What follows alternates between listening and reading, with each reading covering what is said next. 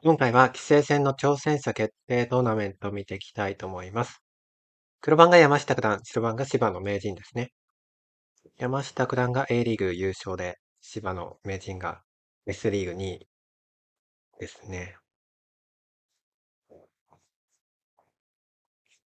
で、つけて、で、黒もかかっ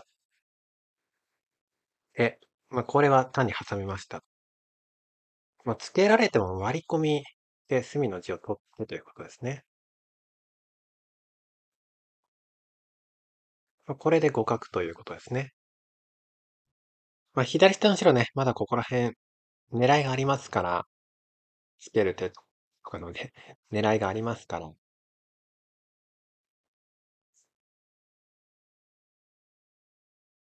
で、まあ、ここから仕掛けてきましたね。で、切りましたと。まあ、形悪いんですけど、まあ、これで打って実践的な手ですね。で、こうやって、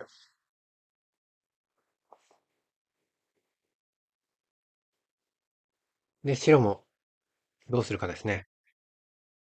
まあ、下辺すぐに入らずに、左上の黒を攻めてますね。この黒を攻めながら黒模様になだなだれ込もうっていう作戦ですね。まあ、調子でこうやって黒模様に入っていこう。で、で、ここで白が下辺ドカンとね、突入してきましたね。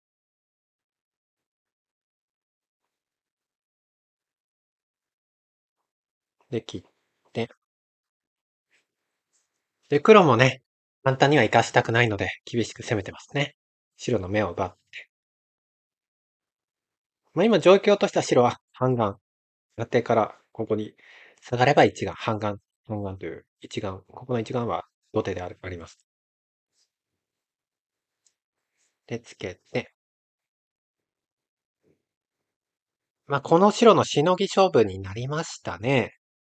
評価値5分ですので、難しい勝負のようですね。まあ、ただ、まあ、そんなに死ぬような石ではないようですね。簡単に死ぬ石ではない。で、こうやって、えー、まあなんかこうぐらいにはなりそうですかね。まあ黒が切ってきたらもうこうの体勢。下から弾いてこうの体勢。まあだからこうにはなりそうですね。で、ここの一眼を奪って、まあ、これ切りを狙われてるので切りを守って、まあ、ここに一眼できましたので、えー、これ、こうというね、え黒線のこうという形になりましたね。で、ここで、えー、鋼材、そば粉がね、まあ、白は生きればいいわけですから、そば粉がたくさんありますので、ということは白がなんとかしのげそうですね。そば粉たくさんあると。で、ここで解消しましたと。で、黒もこういう風に打って白石を切断して、まあ、切断してこの印を大きく取りますよっていう手ですね。まあ、ただね、えー、ここにね、上辺を囲いながら真ん中消したと。なんか、5線にね、開くっていう結構珍しい手で。この場合、真ん中も意識してますよね。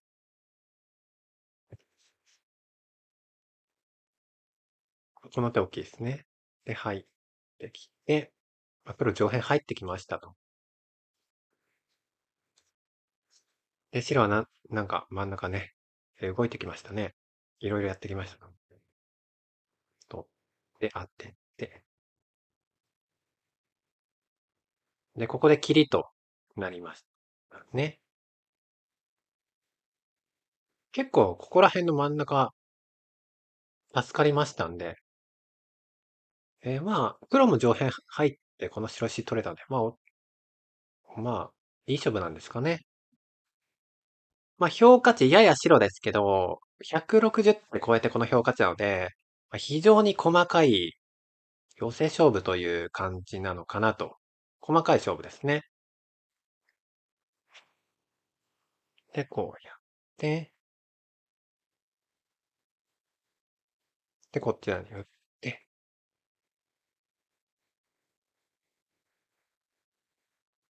で、切り。これはもうめちゃくちゃでかい。字としては非常に大きい手ですね。めちゃくちゃ大きい手を打って。なんか手止まりの、右上の切り取りが手止まりの寄せみたいな場所なので。まあ、細かいんですけど、白の方が厚い動形ですかね。正しく打つことができれば白が少しわずかに残りそうっていう感じですかね。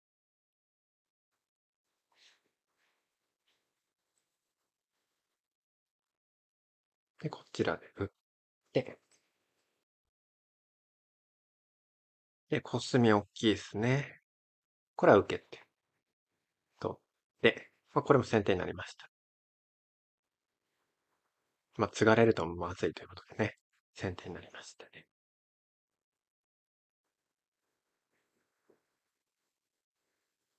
継がれる手が大きいですかね。で、コスんで、まだ結構評価値細かいんで、相当細かい寄せ勝負のようですね。っきり出てないので、相当細かい寄せ勝負というところですね。で、えー、今はね、えこの局面白83%っていう評価値なんですけど、正しく打てば白が半目とか残るんですかねこれ正しく打てば。で、この手がどうやら敗着になったようですね。